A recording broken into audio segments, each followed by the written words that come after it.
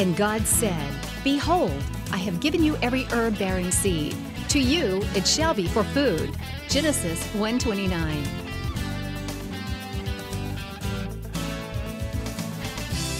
Man did eat angels' food. He sent them meat to the full. Psalm 78 25.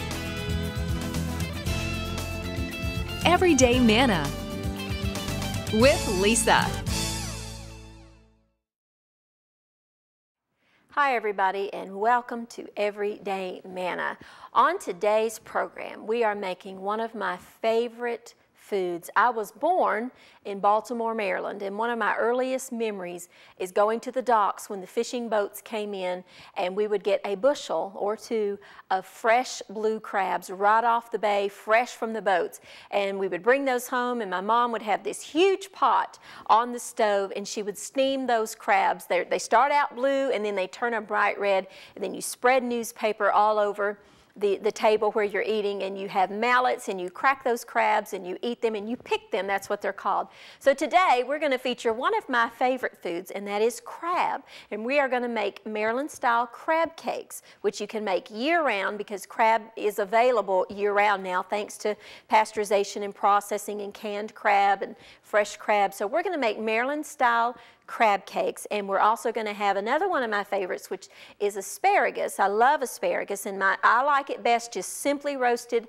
in the oven. So we're going to have roasted asparagus, and then just a simple green salad with a lemon vinaigrette dressing on the side. So let's get started. Now, today, we have got fresh asparagus. Now, if you have never had this before, it is one of the most delicious vegetables that there is. Uh, sometimes, you know, it, it can be a little intimidating, I guess, looking at it, thinking, what in the world do I do with this? But if you just get a bunch, it comes in bunches, you've seen it in the grocery store, hold it in your hand and just simply bend it, like that, whoops. And where it breaks is where the tender part of the asparagus starts, and where the little bit woodier part of the asparagus is on this end. This is good for soups or something like that, but you know, not so good for, for roasting. So take, clean your bunch, lay it out on your cutting board, break one spear, then lay that down, then take your knife and just simply cut the rest of the spears. And mine's going everywhere, but that's okay. Wherever the asparagus spear broke, then you can just cut the rest of your spears to match those. And then we just, I'll just keep those for another use. But then you just have the fresh trimmed uh, asparagus that you can roast. You can snap each and every individual little spear if you want, but that's just a quicker, easier way.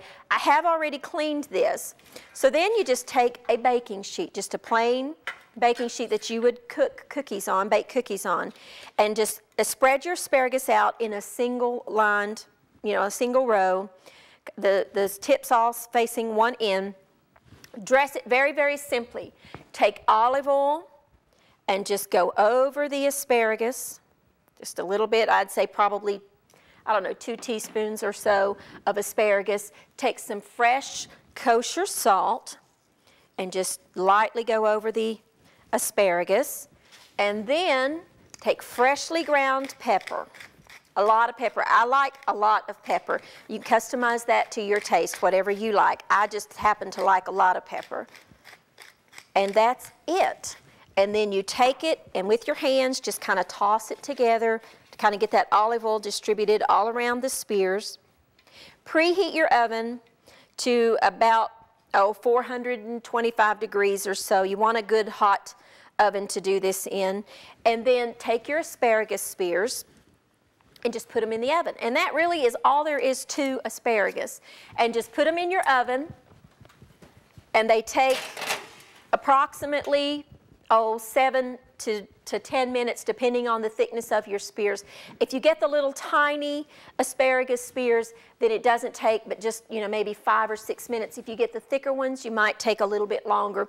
You just want to roast them until they're just slightly browned in places. I'll show you when we take them out of the oven and, and they're just tender to the, to the tooth. They're just, you know, they're not crisp completely, but they're not mushy soft. Um, it is absolutely just one of the best ways to cook asparagus is just simply dress it with olive oil, salt, and pepper, put it in a hot oven, and let it go. Now, we're going to get started on our crab cakes. You can, of course, buy uh, the, the, the tubs of crab that come in any grocery store out there carries the different, back in the meat department, they will have little tubs of fresh crab. This is already picked. Most of it has been cleaned, but we also want to check that and go, you know, go, I'll go over that with you. What I like to do, because this can be a little bit expensive, but you know, if you get just one of this, this is like seven dollars. And then in your in the grocery store, every grocery store has canned crab meat. It's inexpensive. It's like a dollar ninety-nine for a can of crab meat. You can get this to be, you know, to help bulk up the crab, and then add one just of your of your um, the the lump crab meat. This tends to be a little finer, and I'll show you how we do this. You just simply open the cans of crab meat and you want to drain off. Now, as you can see, it does have quite a bit of liquid in the can, as you can tell, and it comes wrapped in this little bit of paper. But what you can do is just take that off and then just over a garbage can, and now I do have a garbage can over here, just kind of take your hand, as you can see, I'm just holding my hand over the meat, and I'm just draining out all of that liquid. You could use a strainer if you wanted to, but this is just an easy way. You know, God gave us two of the best kitchen tools uh, right there on the end of your hand. And then just mix that. I've got, this is three in the bowl. I've already got two drained, but I wanted to show you how we do it. And I've already got two cans of the crab meat drained, and then I just added the third. And then I'm gonna add the, the package of the lump. Now you see, if they'll get me a shot here, JR, how that is kind of finer and, and flaked more, whereas this crab meat in the, the, the, container here is lumped up more and it's just, it's got more chunks in it. So the, the, the canned crab meat just helps to stretch this further. And then this does not have a lot of liquid in it, so you really don't have to worry all that much about draining it.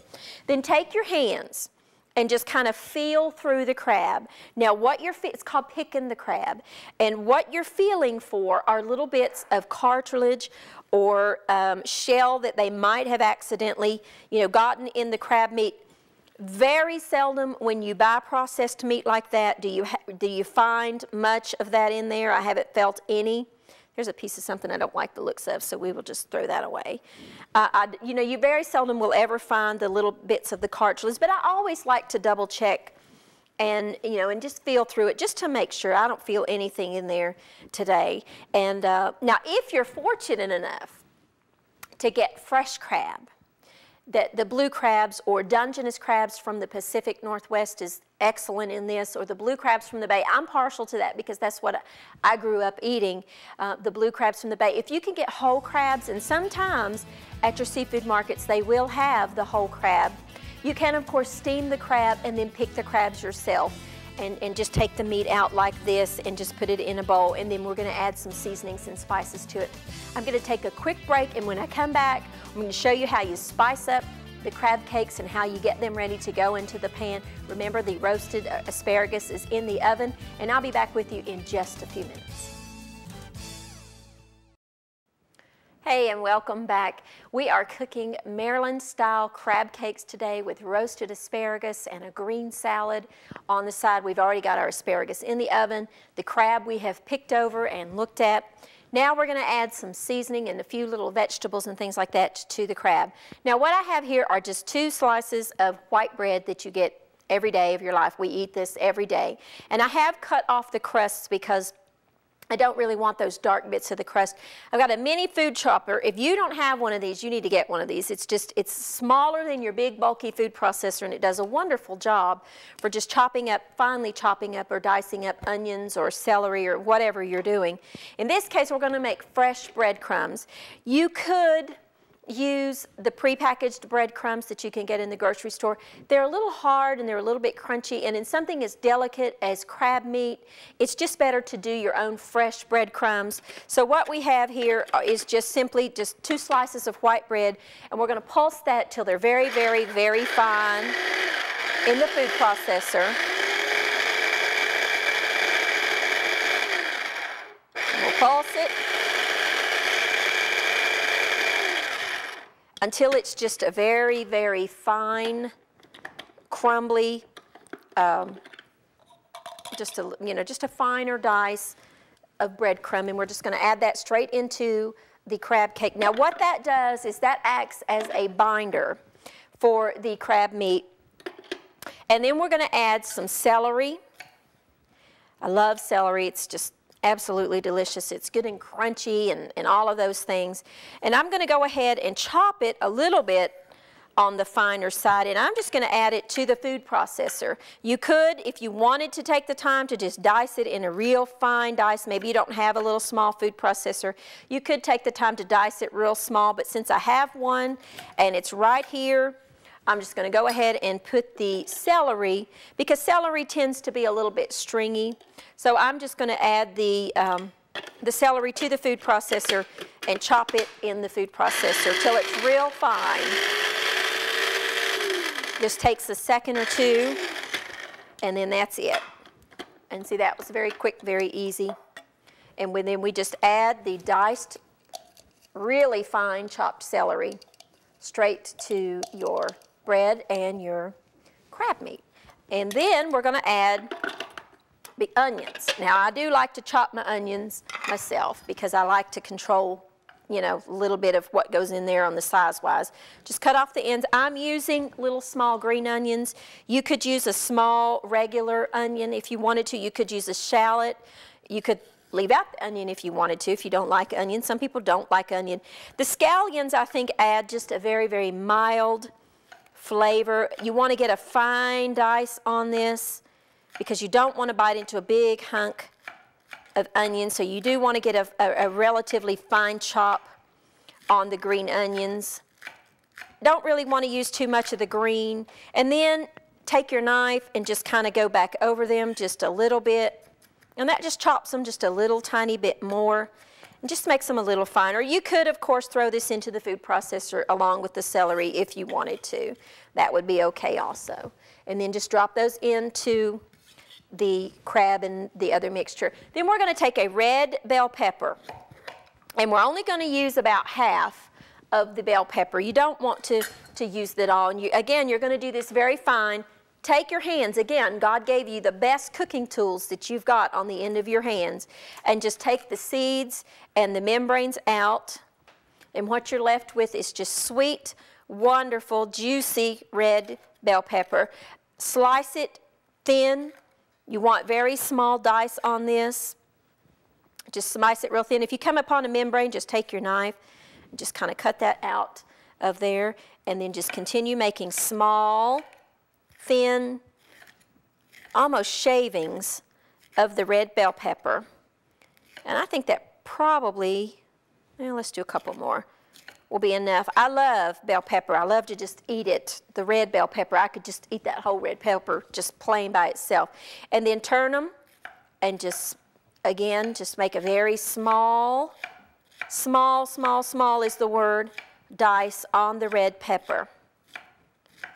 Because you don't want big chunks of anything. You don't want anything to overpower the taste of the crab. Crab, if you've never tried it, is delicious. It's a very sweet meat.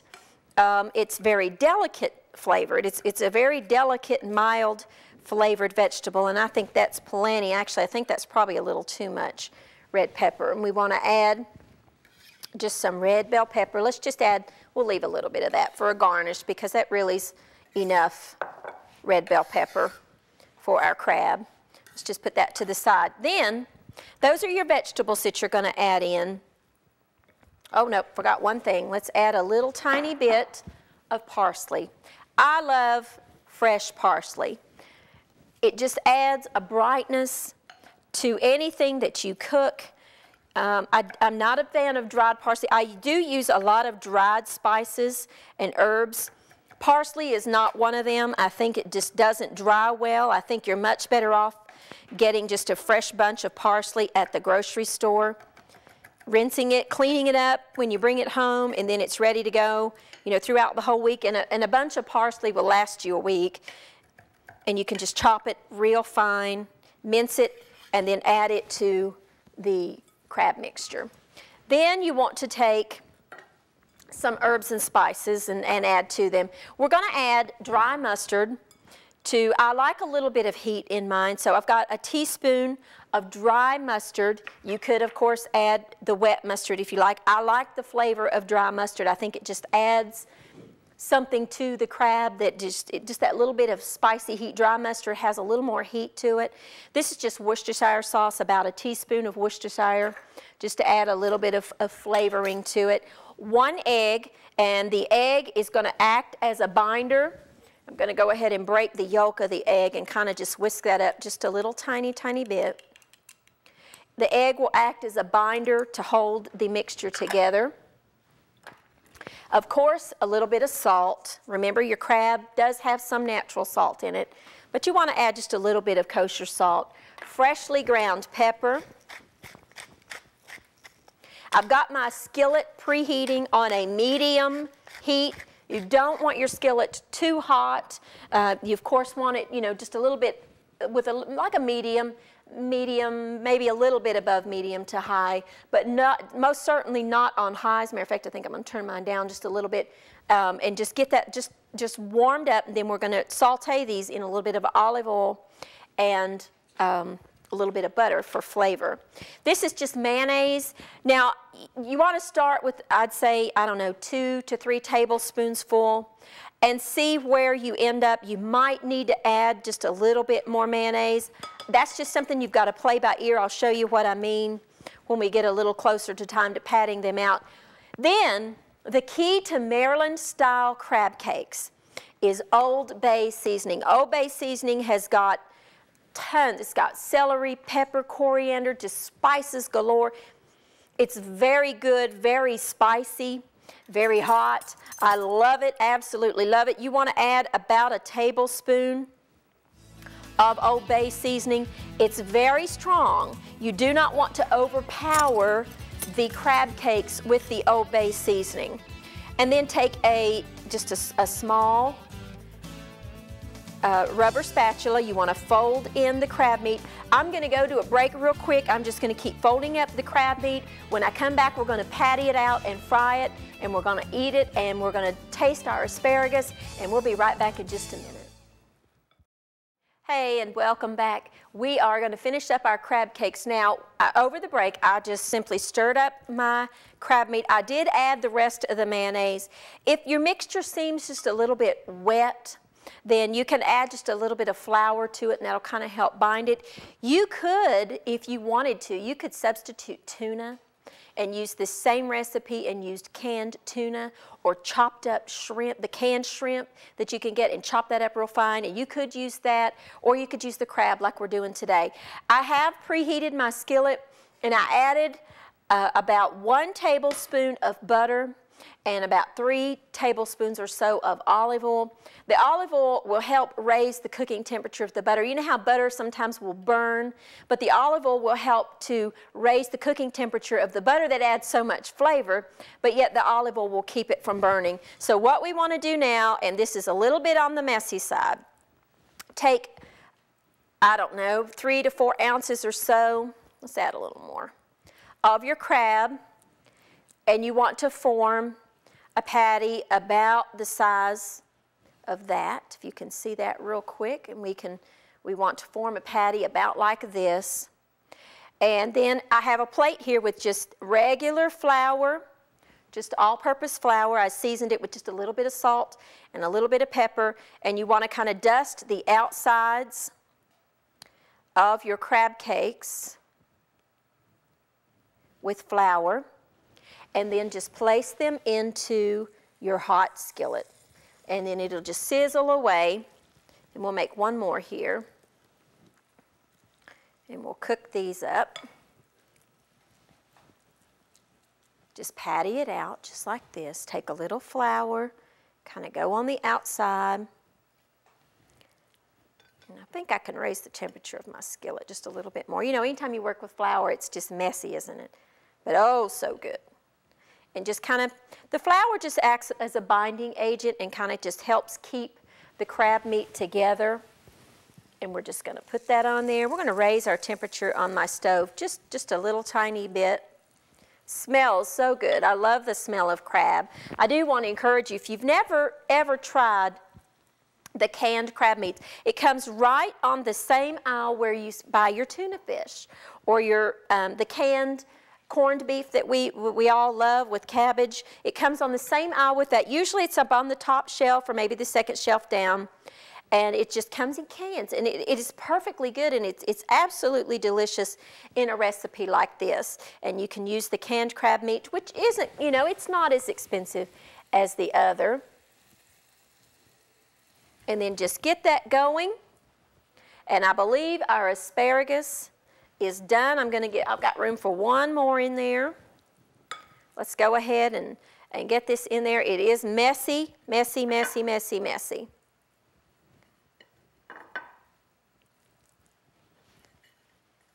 And we will get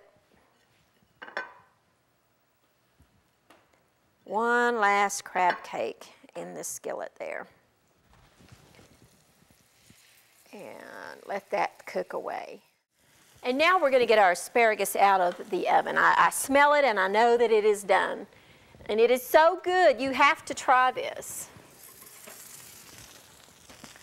And as you can tell, as you can see, it's just slightly browned, just a little bit browned on the edges, and it just kind of shrivels a little bit. And it's absolutely delicious. And we're just going to set that to the side let that cool off for just a second. We're going to check our crab cakes. Now I did, the crab cakes are in the oven, or in the skillet, excuse me, and we're going to just turn this last one. You see how goldeny brown they get? They just, they just, they are so incredibly good. I love crab. Like I said, you could substitute tuna. You could use chopped shrimp. You could do whatever that you wanted to do. Now, for, we're going to serve this with just a little bit of a green salad. While the crab cakes are finishing up, they just take, I don't know, two to three minutes on either side. Um, the crab, of course, is already cooked. You're really just softening the vegetables is what you're doing and warming the crab and getting those flavors a chance to meld together. I like simple, easy dressings. I, am not a big fan of, of real heavy salad dressings. I think what we're going to do today is just a simple lemon vinaigrette. Remember the trick of just zesting your lemon?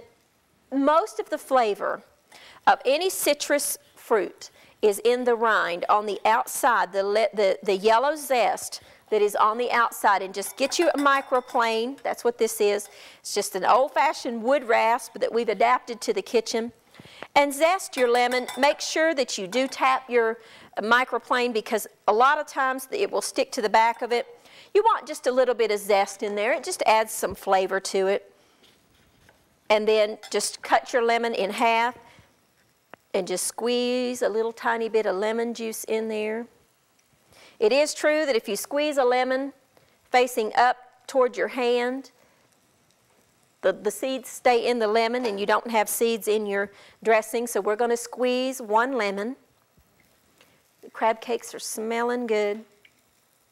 Just get the juice out of one lemon, kind of uh, just whisk that together. A little tiny bit of salt. I really like simple salad dressings. I, I don't, I'm not a big fan of the heavier dressings. Just a little salt, a little pepper. You could, of course, if you don't want to use the lemon juice, you could use balsamic vinegar, red vinegar, whatever kind of vinegar you like, apple cider vinegar. And then as you're whisking, I need to switch, I'm a lefty here. As you're whisking, whisk in just a little tiny bit of olive oil. I like mine actually a little more vinegar to oil. It's up to you, whatever you like. If you whisk as you pour, it will emulsify and the oil and the vinegar will stay together. And so there's just a little tiny bit of just a, a light vinaigrette dressing. And you see how it just kind of gets that creamy? That's because I have whisk while I put the lemon in there and it just kind of emulsifies it together. It's simple and easy. I have just a little tiny um, simple salad that I have bought ready to go in the grocery store. Just dress that with just a little tiny bit of your olive oil and lemon dressing. Put just a few spears of your asparagus on there, however you, much that you like.